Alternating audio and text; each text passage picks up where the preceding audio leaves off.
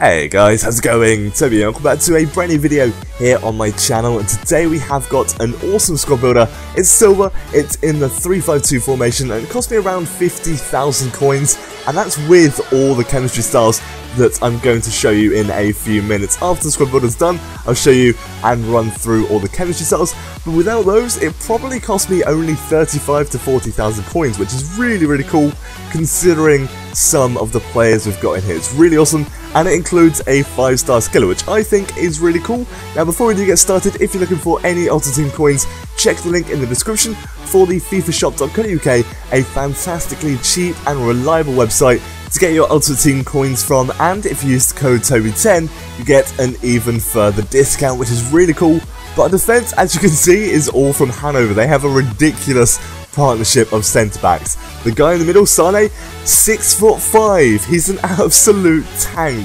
So I've put those in the team because it allows me to go into a little bit of a like a Brazil Christmas tree in the middle, like this Brazilian diamond, and it's really really cool. Like it works really well. They're very very strong and they've got decent pace, decent passing.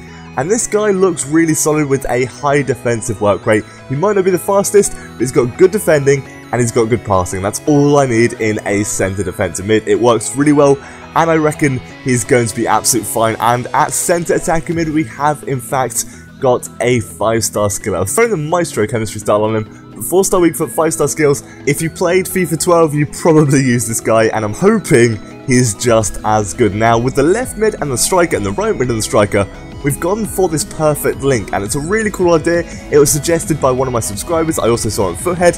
So if you want to try and build 352 like this, it's a really cool way to do so and I think it looks quite good. Like I really like it. So the right mid and the striker and the left mid and the striker, they're complete perfect links. And what I mean by that is same league, same nation and same club and that gives full chemistry even though there's only one link and it's probably one of the few formations that you can actually get away with doing this because, as you know in FIFA 14, the nation links are only worth one now, and it's so, so silly because making hybrids is so difficult. Like, this team is literally strong links, and on FIFA 13, I probably could have made it a little bit more exciting, but I had to use Eddie Johnson again.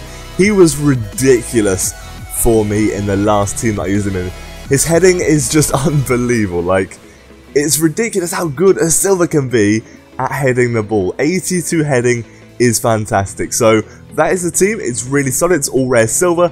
And like I said, only 35k. But if you throw these chemistry stars on, it may cost you about 50. So we've got Hawk, Finisher on our strikers, Maestro on Marias, Deadeye on the left mid and the right mids, and then all centre backs have Shadow, as did the right centre defensive mid. On the left hand side, we've got the powerhouse chemistry style, and on our goalkeeper, we have got gloves. So as far as the chemistry styles go, I don't think I'd really change it. Like, the one that's really versatile is probably Marias. Like, you could do a lot in terms of chemistry styles with Marias, but I went for Maestro, I think it works well, and let's have a little bit of a chat about how the team performed, the formation, and the play style that I had. So, headers were ridiculous with the team, like, really, really good, and Marias' dribbling is phenomenal. I really, really enjoyed Marias. The only problem I had with this team is because I had quite a few skillers in there, I literally only tried to go for good goals, and that actually resulted me in getting the opposite. Like,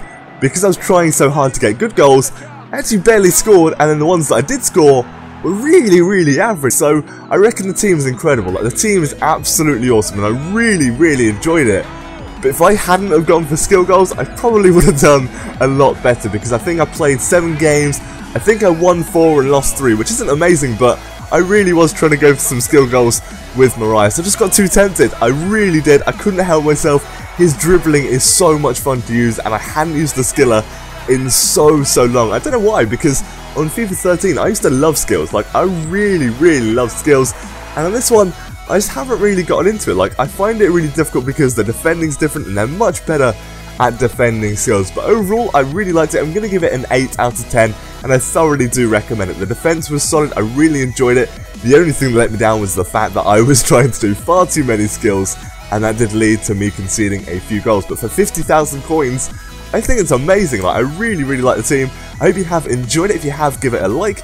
And if you're not already, hit the subscribe button for some more videos. Thank you so much for watching, guys. Take care. Have an amazing day, and goodbye.